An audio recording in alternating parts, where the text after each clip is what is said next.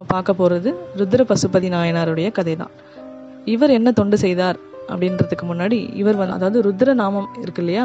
அதை சொல்வதன் மூலமாகவே சிவனுடைய அடியை சேர முடியும் அப்படின்றத இந்த உலகத்துக்கு காட்டணும் அப்படின்றபடி ருத்ர மந்திரத்தை தினமும் வந்து தண்ணீரில் தாமரை ப தடாகத்தில் தாமரைகளோட தாமரையா அதாவது தன்னுடைய தலை மட்டும் அந்த தண்ணீர் மட்டத்தில் தெரியும். உடம்பு உடல் முழுக்க தண்ணீரில் இருக்கும் ருத்ர நாமத்தை தினந்தோறும் சொல்லிக்கிட்டு வந்தார். சொல்றதன் மூலமாகவே சிவன் அடியாடிய சேர்ந்தார். எப்படின்னா தினந்தோறும் அவர் வந்து கோயிலில் சிவனை கும்பிட்டுட்டு அந்த தடாகத்தில் இருக்க தாமரை தடாகத்தில் இருக்கிற குளத்தில் அவருடைய உடல் முழுக்க நீரோடையும் தலை மட்டும் வெளியே தெரியும்படியும் சிவனுடைய ருத்ர மந்திரத்தை சொல்லிக்கிட்டே இருந்தார். ஒரு நாள் சொன்னார் அது வ- நாட்கள் வந்து வாரங்களாச்சு வாரங்கள் மாதங்களாச்சு மாதங்கள் வருடங்களாச்சு.